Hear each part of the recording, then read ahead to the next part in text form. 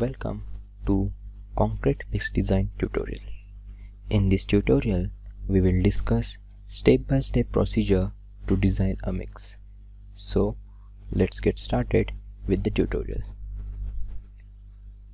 Step 1 is about calculation of target mean strength. Indian Standard gives two expressions to calculate target mean strength. The factors S and X are selected from table 1 and table 2 of IS 10262. The maximum value obtained from two expressions is adopted as target mean strength of concrete. Step 2 is about selection of water cement ratio. As per clause, water cement ratio is selected by establishing the relationship between strength of concrete and free water cement ratio. However, in the 2019 edition of IS 10262, a chart is given. This chart has three curves. Curve 1 is for OPC 33 grade of cement, curve 2 is for OPC 43 and curve 3 is for OPC 53 grade of cement. Depending on the target mean strength obtained in step 1 and the grade of cement to be adopted in mixed design, corresponding water cement ratio is obtained from the chart. This obtained water cement ratio is then checked against the permissible maximum free water cement ratio given in table 5 of IS 456 2000. The limit on maximum water cement ratio is tabulated for plain concrete as well as reinforced concrete depending on the exposure conditions. Next step is the estimation of air content. This is new clause added in 2019 edition. Clause says that the approximate amount of entrapped air can be taken from table 3 of IS 10262. The values given in table 3 are for 1 meter cube of concrete depending on the nominal maximum size of aggregates we are using in the mix. However, if the actual values of air content are available from site data, then those can be used. Step 4 is about selection of water content. Table 4 of IS 10262 gives the basic quantity of water content to be used depending on the nominal maximum size of aggregate. This water content has to be modified with certain corrections. This is because depending on the texture of aggregate or the addition of admixture, water content can be altered. The values given in table 4 are for angular aggregates 50 mm of expected slump and no admixture condition. The first correction is aggregate shape correction. As smoothness of aggregate increases, workability of mix also increases. Therefore, for constant amount of workability, water has to be reduced in the mix. So, if we are using aggregates other than angular type, then this correction needs to be applied. For subangular aggregates, water content can be reduced by 10 kgs per meter cube of concrete, whereas for crushed gravels and rounded gravels, water content can be reduced by 20 and 25 kgs respectively. After applying this correction, new water content is termed as WC1. Second type of correction is slump value correction. If we are designing the mix for higher workability, then water must be added to achieve that level of fluidity. Hence, if the expected workability exceeds 50 mm of slump, then water quantity has to be increased by 3% for every increase of 25 mm slump. This correction has to be applied on WC1 and the updated value should be reported as WC2. Third correction is admixture correction. Chemical admixtures are added into mixes to achieve higher workability and that too without compromising the strength of concrete. And therefore, if we are using the admixtures, either plasticizers or super plasticizers, water content has to be reduced. If we have the results of water reduction, then those results are to be considered for mix design. Or else, if we do not have test results, then as per IS recommendations, 5 to 10% of water reduction can be assumed for plasticizers and 20 to 30% of water reduction can be assumed for superplasticizers. This correction has to be applied on WC2 and the updated value is reported as WC3. This is the final quantity of water required in the mix. Next step is the calculation of cementitious content. We are designing the mix design for ordinary concrete assuming that the cement is only part of cementitious material. In earlier steps, we already finalized water cement ratio and water content of the mix. The cementitious content can be obtained as WC3 divided by X. This obtained cementitious content has to be checked against the minimum and maximum cement contents specified by IS 456 2000. The limit on minimum cement content is provided based on the strength criteria and it varies with the exposure conditions. Whereas the limit on maximum cement content is based on durability criteria. In no case, cement should exceed 450 kg per meter cube of concrete. Next step is obtaining the quantity of admixture we cannot use excess amount of admixture to reduce water content in the mix to achieve higher strength. IS code limits the use of chemical admixture as the percentage of cement content in the mix. As per Indian standards, if you are using plasticizers, then its addition should not exceed 1% as quantity of cement and if you are using super plasticizer, then it should not exceed 2%. So let the percentage of admixture be y percent. Therefore, the quantity of admixture can be calculated using the expression given here. Step 7 is about estimation of coarse aggregate in total mix.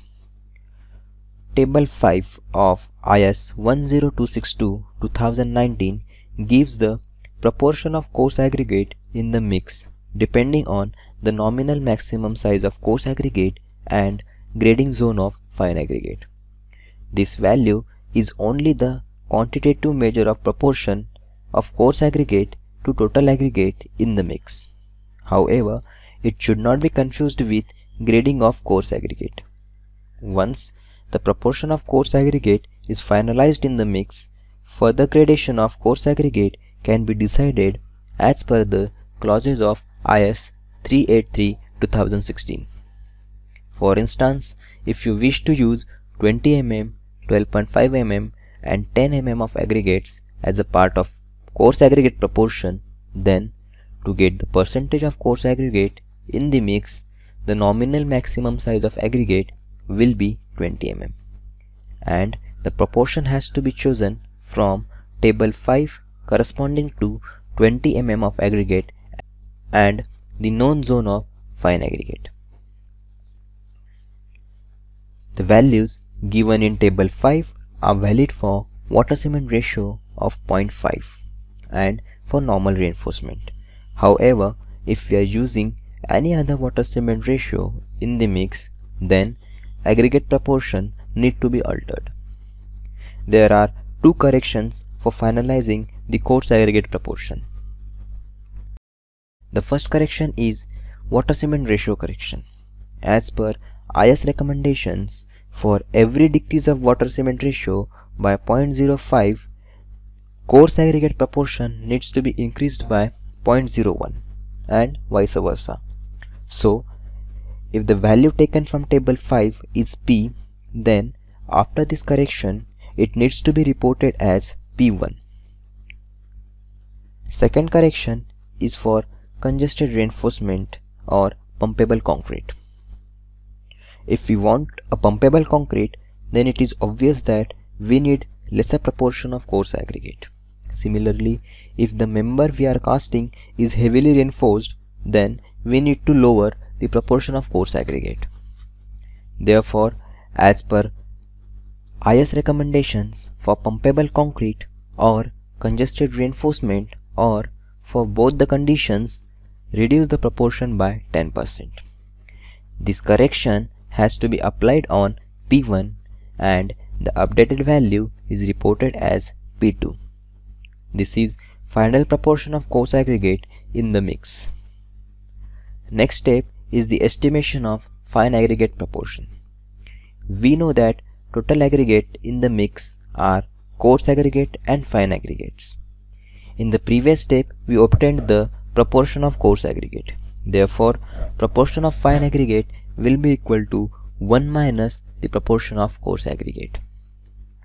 Step 9 is about obtaining the volumes of ingredients.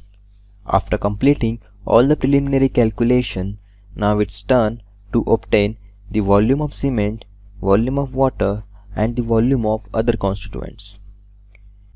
First is the volume of cement, which is obtained with the expression given below. Mass of cement is already obtained in step 5 and specific gravity of cement needs to be obtained by conducting specific gravity test. Second is volume of water. Mass of water is already calculated as WC3 in step 4. Specific gravity can be considered as 1 for nominal water. However, if it is seawater or a saline water, then it will be slightly lower. Next is volume of admixture. We know the mass of admixture as percentage of mass of cement. Also, specific gravity of admixture is given by the manufacturer.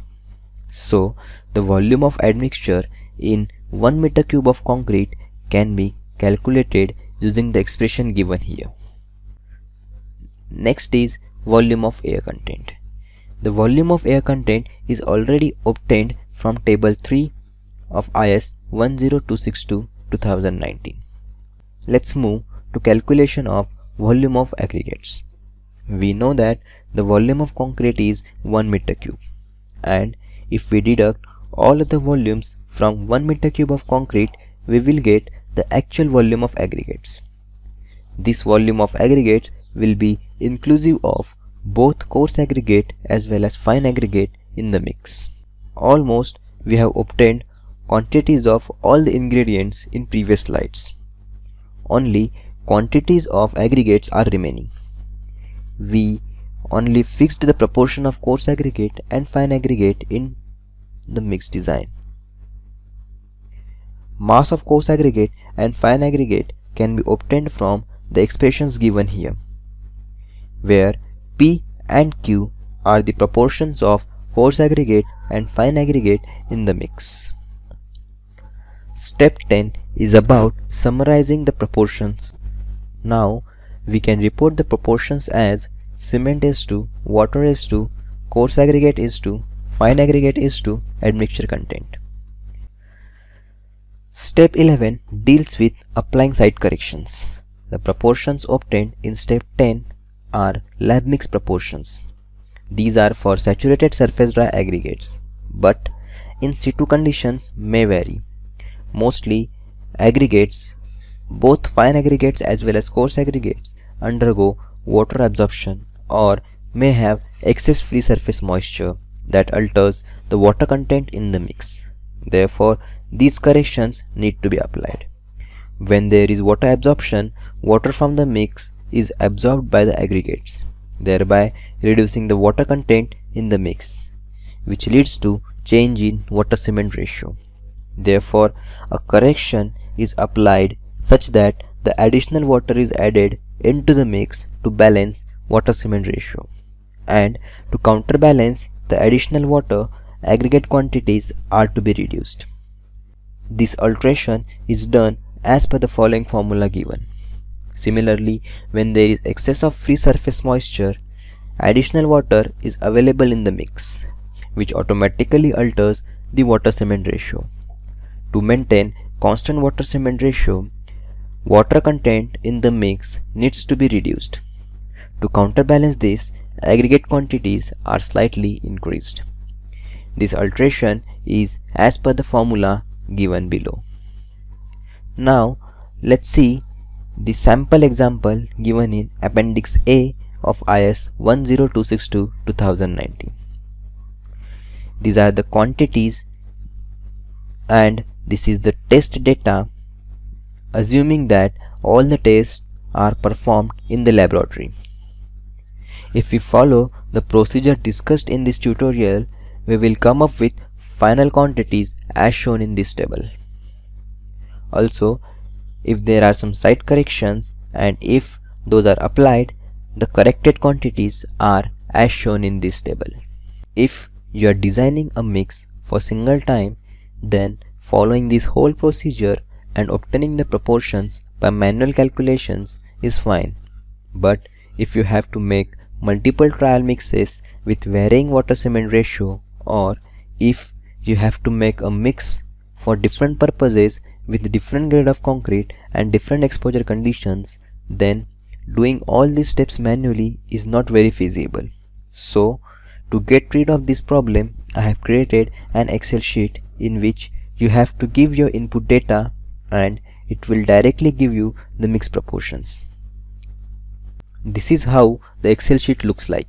In this sheet you have to give all input parameters such as design grade of concrete, exposure conditions and the expected slump value. Also, you need to give the ingredient properties such as specific gravity, water absorption and free moisture content of aggregates. If we give all those input parameters then we can directly get the lab mix design proportion as well as the in situ mix design proportions. In this video I showed you the sample interface of mix design. However, if you want to know how to use this Excel sheet, do watch part 2 of this video. Thank you.